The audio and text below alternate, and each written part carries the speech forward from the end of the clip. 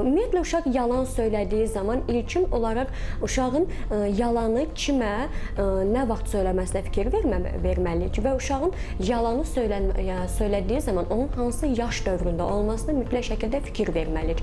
Təbii ki, bu zamanda fikir verdiyimiz zaman müxtəlif yaş dövrlərinə görə yalanlar vardır ki, 3-5 yaş arası yalanlar, 7 və 7 yaş üstü yalanlar və 11 yaş üstü yalanlar.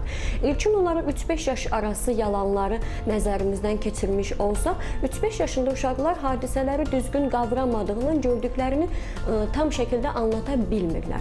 3-5 yaşında olan uşaqlarda müxtəlif orientasiyalar vardır ki, məsələn, zaman, məkan orientasiyaları onlarda oturuşmamışdır və bu dövrdə olan uşaqlar fəsilləri bilmirlər. Və bu zaman valideynlər hər zaman bu uşaqların yalan danışdığını düşünürlər. Onları yalançı adlandırırlar. Təbii ki, bu düzgün bir sistem deyildir. Heç bir zaman bu yaş dövründə olan uşaqları sən yalancısan, yalan danışdın ki, qiymətləndirmək və bunu sözəl olaraq uşağın üzərinə bildirmək olmaz. Sadəcə bunun səbəbini 3-5 yaşlı uşağın xəyal dünyasının artıq həddindən artıq geniş olması ilə bağlıdır. 7 və 7 yaş üstü yalanlar isə burada xəyali yalanlarla və buradakı yalanlar xəyali yalanlardan çox fərqlənir. Çünki 7 yaş üzəri uşaqlar artıq orientasiyalar oturuşmuşdur və məkan, zaman orientasiyası oturuşur və artıq bu dövrdə olan uşaqlar fəsilləri də bilirlər. Buna görə də bu dövrdə olan yalanlar bilərəkdən, qəsdən deyilmiş, müəyyən nələrisə əldə etmək üçün deyilən yalanlardır.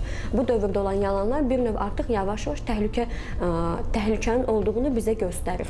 11 yaş, 11 və 11 yaş üstü yalanlar. Hər birimiz bildiyimiz üçün bu yaş dövrü artıq yeniyetməliyə giriş dövrüdür və bu zaman olan yalanlar daha təhlükəli xarakter daşıyır və bunun nəticəsində patoloji yalanlar ortaya çıxır ki, patoloji yalanlar nədir dedikdə, patoloji yalanlar təbii ki, duyğu pozuntusuna yaranan yalanlardır. Patoloji yalanlar da qəsdən, bilərəkdən deyilmiş yalanlardır və bu dövrdə mütləq şəkildə ə, təhlükəni valideynlər təhlükənin olduğunu hiss edib mütləq şəkildə psixoloqa müraciət etməlidir. Çünki bu dövrdə olan uşaqlar mütləq şəkildə olmamış hadisələri danışmaq, olmuş hadisələri isə heyrətləndirici şəkildə böyütmək bu uşaqları daha çox sevindirməyə meylli olur.